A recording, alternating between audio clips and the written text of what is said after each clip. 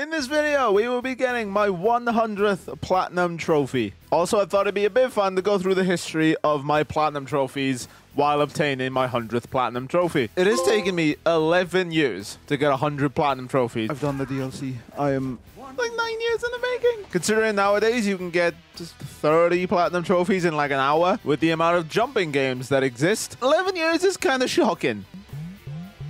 There we go. No, I'm hungry again. Of course, I will touch on some big milestones that I've achieved while going for 100 platinums, and then, of course, achieve the 100th platinum. So I think the 100th platinum is the only time someone has gone, hmm, what shall I play next just to get it to be my 100th platinum? I did have a few games in mind. My original plan was for it to be Mortal Kombat 11, but after three weeks, that platinum is still unobtainable. Can we not normalize fighting game platinums not being achievable on day one? It happened with Street Fighter 6 and now Mortal Kombat 1. So Tekken 8, don't you dare. I also thought Spider-Man 2 would be my 100th platinum, but by the time I got this platinum, the game would be out in like 13 days. And I can't go that far without platinum in something if I can help it. Also, Stream Chat had some very interesting suggestions. Do Shrek. hey, you know what? I, I wouldn't be opposed to it, I'm not gonna lie. Oh my god. It actually has a platinum. 100th platinum confirmed?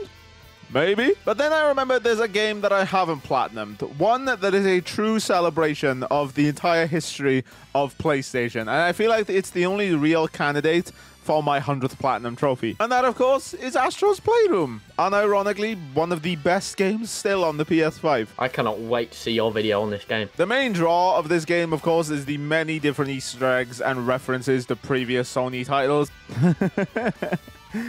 Ghost of Tsushima. All the way from the PS1 to now, of course, the PS5.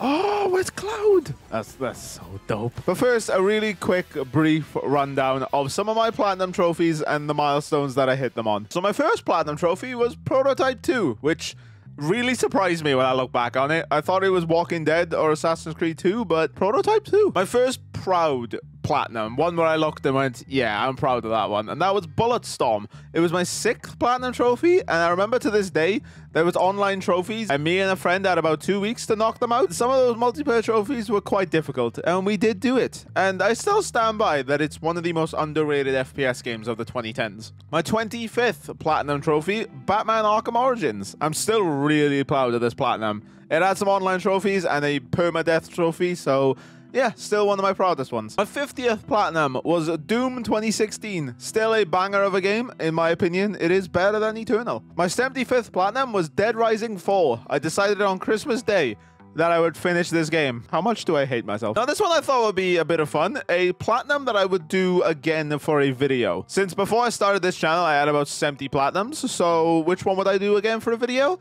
And I'd probably say Dead Rising 1. Just because I remember how frustrating the survivors are in that game. And of course, at this point, the iconic 7-Day Survivor trophy. And also, I feel like just recording myself losing my mind for 14 hours straight might make some interesting content. My easiest platinum, probably My Name is Mayo, though it did give my thumb a bit of a workout. Imagine I had this bad boy back then. My hardest platinum is still The Evil Within, though I would like to change that since it's been my hardest platinum for like eight years now. And my longest platinum, obviously Mortal Kombat 9. And now it's time for my 100th platinum, so grab your bronze, silver, and gold trophies while we obtain the big 100th platinum trophy. Right, my 100th platinum let's have some nostalgia, shall we? So if you guys don't know what this game is, it's basically a tech demo for the PlayStation 5, for it mainly just to show off the DualSense and what that controller is actually capable of.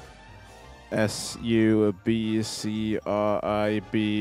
I'm sure you know what that spells. You should definitely do it. And while this game is only a tech demo, I still stand by it is one of the best games on the PS5. We're playing Infamous. The game is free, and the amount of content and enjoyment you can get out of this game is insane. Uh, is he supposed? Is this ape escape?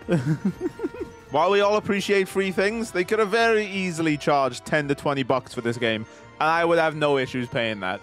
it's Death Stranding. The heart of this game is, of course, it's just a collectathon. You're collecting these puzzle pieces as well as these artifacts, and the artifacts are the main appeal of this game. Oh, the screen. I remember I had one of these as a kid. They were awesome. There are so many references to both new and old that if you've played any PlayStation console in the last 30 years, you will get hit with some nostalgia. Oh god. And I'm not going to see everything. I will definitely miss out on someone's favorite game. I really implore you to go play this game yourself if you haven't done so already. I mean, it's free and it's a three hour platinum, so why not? And some of the trophies are genuinely really fun to get. So cool. Suppose I should probably touch on the platinum now, right? So to get this platinum, you have to go through these multiple different worlds, beating the different levels and getting all the collectibles. And trust me, the collectibles are not that hard to get, and they're a lot of fun to get as well. If my entire life could be described by one image, it's this. it's so beautiful. These missions don't really offer you too much challenge until you get to the speedruns. But even then, the speedruns are DLC and aren't required for the platinum. But we'll knock out those trophies really quick. Overall, these speedruns aren't that bad. Besides me falling off this map three times, it's really not hard in the slightest. You do have some margin of error. As long as you know the general route, it really shouldn't give you too much trouble. How? That was horrible. and the absolute final trophy that I earned, it is the perfect trophy to unlock to get this platinum trophy. And if you unlock this trophy at any other time, your platinum's fake. Right. Let's get our platinum trophy, shall we? Please? Yeah!